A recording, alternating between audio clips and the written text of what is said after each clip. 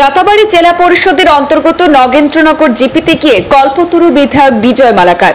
দেড় শতাধিক পরিবারের হাতে তুলে দিলেন গ্যাস সিলিন্ডার, মোবাইল চার্জের জন্য জেনারেটর।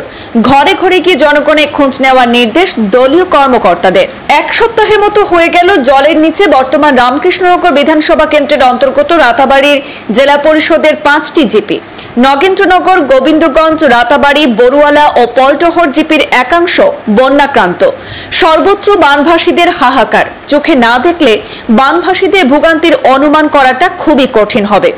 গবাদি পশুর খাদ্যেরও অভাব দেখা দিয়েছে।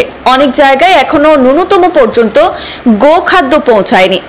আর কোথাও পৌঁছালে পরিমাণ এত সামান্য যে গরু মহিষের একদিনে খাবার যোগান দেওয়া সম্ভব হচ্ছে না। বিশুদ্ধ পানীয় জলের অভাব দেখা দিয়েছে। তাছাড়া কীট পতঙ্গ, কেঁচো, সাপ ব্যাং মরে বন্যার জলে মারাত্মক দুর্গন্ধ ছড়াচ্ছে চারদিকে। এতে ভয়ঙ্কর রোগ ছড়ানোর আশঙ্কা রয়েছে। ডিলিমিটেশনের পর দক্ষিণ করিমগঞ্জ বিধানসভা কেন্দ্র থেকে রামকৃষ্ণনগর বিধানসভায় অন্তর্ভুক্তি ঘটেছে রাতাবাড়ি জেলা পরিষদ এলাকার পাঁচ জিপির। ওই জিপিগুলির জনগণের খোঁজ খবর নিতে প্রতিদিন ছুটে যাচ্ছেন রাতাবাড়ি বিধায়ক বিজয় মালাকার। সনবিলে পাদদেশে থাকা নগেন্দ্রনগর জিপি পরিদর্শনকালে কল্পতরু হয়ে ওঠেন বিধায়ক বিজয় মালাকার। বন্যাক্রান্ত একশো পঞ্চাশটি পরিবারের জন্য রন্ধন গ্যাসের সিলিন্ডারের ব্যবস্থা করে দিয়েছেন। বিদ্যুৎ না থাকার কারণে ওই জিপির জনগণ তাদের নিত্য প্রয়োজনীয় জিনিসপত্র এবং মোবাইল চার্জ দিতে পারছেন না। জনগণের অসুবিধা দূর করার জন্য জেনারেটর প্রদানের পাশাপাশি দুটি দোকানে জনগণের মোবাইল চার্জ দেওয়ার ব্যবস্থাও করে দিয়েছেন। এদিকে ওই জেলা পরিষদ এলাকার বানভাসীদের পর্যাপ্ত ত্রাণ সামগ্রী পৌঁছানোর দায়িত্ব স্থানীয় জেলা পরিষদ সদস্য অর্থাৎ আশিস নাথ সহ দলীয় কর্মকর্তাদের উপর ন্যস্ত করেছেন। বিধায়ক বিজয়ের এই কর্মতৎপরতায় বেজায় খুশি নগেন্দ্রনগর জিপির জনগণ। জিপির মহিলারা সংবাদ মাধ্যমের সঙ্গে কথা বলতে গিয়ে জানিয়েছেন, বিধায়ক বিজয় মালাকার যেভাবে ঘরে ঘরে গিয়ে খোঁজ খবর নিচ্ছেন, এটাই তাদের জন্য যথেষ্ট। এর আগে কোনো প্রতিনিধি তাদের খোঁজ খবর নেননি। বিধায়ক বিজয় মালাকারকে এখনও তারা ভোট দেওয়ার সুযোগ পাননি। তারপরেও সাহায্য না করে পারছেন না তিনি। কিন্তু এরপরও তাদেরকে রন্ধন গ্যাসের সিলিন্ডার, আলোর ব্যবস্থা করে দিচ্ছেন, ত্রাণ সামগ্রী পৌঁছে দিচ্ছেন, এজন্য কৃতজ্ঞ কৃতজ্ঞতা প্রকাশ করেছেন সেখানকার বানভাসীরা। এক মহিলা বিধায়ক বিজয় মালাকারকে অসহায়দের ভগবান হিসাবে উল্লেখ করেছেন। আগামী দিনে তারাও বিধায়কের পাশে থাকবেন বলে অঙ্গীকার ব্যক্ত করেন। বিধায়কের সঙ্গে করিমগঞ্জ জেলা পরিষদের প্রাক্তন চেয়ারম্যান তথা রাতাবাড়ি জেলা পরিষদের প্রাক্তন সদস্য আশিস নাথ সহ বিজেপি দলের বিভিন্ন স্তরের কর্মকর্তাবৃন্দ উপস্থিত ছিলেন। হ্যাঁ তারা লিস্ট করব দুজনের লাগে কালকে যার বাড়ির গ্যাস আছে, খালি সিলিন্ডার তারে গ্যাস শেষ? হ্যাঁ, ঠিক আছে? আর এই উপর পাঁচটা সমষ্টির মধ্যে মাত্র এই কথা ইয়া তোমরা এখানে কইছি।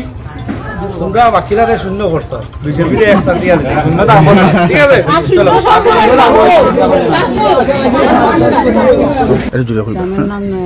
আচ্ছা আচ্ছা। আজকে আমরা এখানে এমএলএ আইসই না ইয়ে আমরা সব ফ্যামিলিকে এক এক করে সব জিজ্ঞাসা করছ। আপনারা আর কি তার অসুবিধা কি কি লাগে?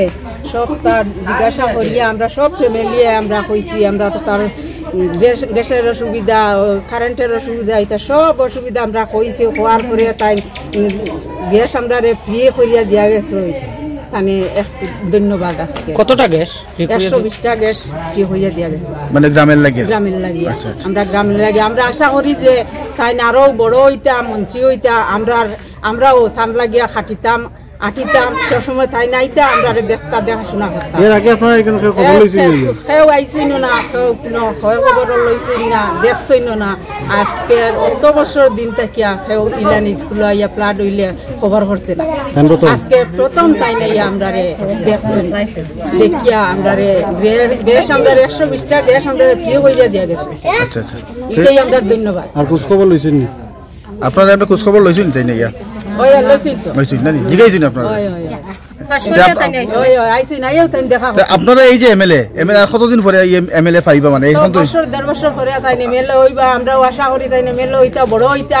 আমরাও তার লগে আটিতাম খাটিতাম তাই না আমরা রে দেখতাম। এর আগে আপনারা এরকম আর পাইছেন না? আমরা এর আগে খেয়েও দেখাশোনা করছে না। আইন প্রথম? প্রথম আইছেন তাই। তান্ডে আইছেন যে এতদিন ধরে আপনারা আইছেন তাই না? আওয়ার পরেও আমরা সবে তান্ডে আমরা ধন্যবাদ জানাই। আপনার নাম? সম্প্রীতি রানী দাস আজকে যে এমএলএ আইছে কিতা হয়ে গেছে? হয়েছে যে আপনাদের কি অসুবিধা। সবে হইল যে আমরা গ্যাসের অসুবিধা। সবরে গ্যাস দিতে একশো বিশটা।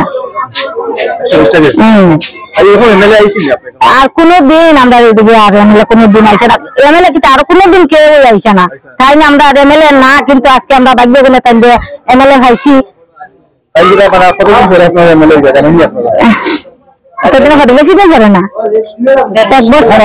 পাই নাই। তাই যে আমরা ভোট দিয়ে এমএলএ বানাইছি না আমরা ভাগ্যগুলো এমএলএ পাইছি। আর অতটুকু দিয়ে এটাই আমরা বহুত বেশি হয়েছে আমরা যে নয় নবীন আছি কি না মানুষ কোনো কেউ খবর করেন না। আজকে তাই না আমরা যতটুকু খবর করছে। এটাই আমরা ধন্য পাঁচশো টাকা একশো টাকাও দিতে তবে আমরা খুশি। টাইম যে টাইমে যাতে আর কোনো এমএলএ বনে আমরা হাতে বনে আমরা এমন কামনা করি। ঈশ্বরের কাছে আর প্রধানমন্ত্রী তো অতটুকু আমরা কান্দে আশীর্বাদ করি। তাই না আমরা ভগবান আমরা কোনো দিন কেউ আমরা খবর করছে না। আজকে তাই না আমরা অতটুকু খবর করছে, এটাই আমরা ধন্যবাদ।